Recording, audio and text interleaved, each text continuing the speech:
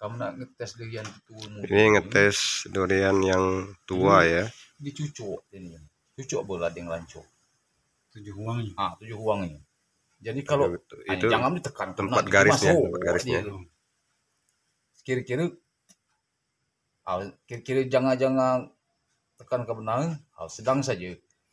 Kapan dia dicucuk main ini kapan dia serat tuh durian hanya dia langsung sampai kita nyak kali Lewat. ket dia bercus masuk oh dia kan belum bersabut Oh, gitu gitu gitu.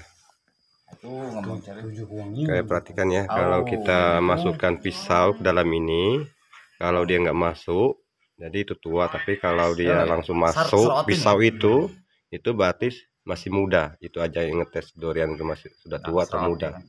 hanya dia muda di mbak ini kan cos katanya langsung masuk Jadi untuk menentukan durian ini sudah tua apa enggak seperti itu ya. nah dia itu dari tangkai Itu Dari tangkai dari ini. buah, dari jadi tangkai. kapan di set ini lendirnya masih banyak menang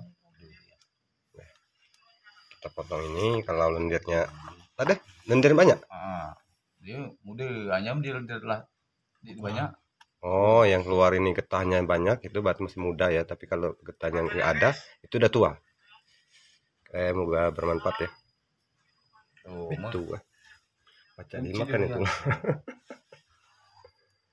Jadi untuk Ambil menentukan tangkai ini ada pula dua macam. Tangkai ini kalau dilihat muda, di mak ini kan langsung belah langsung krak langsung patah. memori Ambil muda, hanya dia tu suka tidak patah. hmm ya ya. itu masih muda ini Nah, ini muda berarti. Ambil nak nginak ya muda. Nah, satu lagi ya. Ya, ya. Nah. seperti ini. Kalau dia kita bengkokkan seperti ini tidak patah itu berarti tua. Tapi kalau sudah bengkokkan langsung patah itu pasti muda ya. Ini Mbak. Oh. Nah, itu gampang banget berarti ya. Nah, Tuh, itu tutorial ya. Tutorial menentukan tahu Kapan ini tua atau muda. yang- Nah, itu. Ya, kita beginiin kita angkat ya. Diangkat. ni.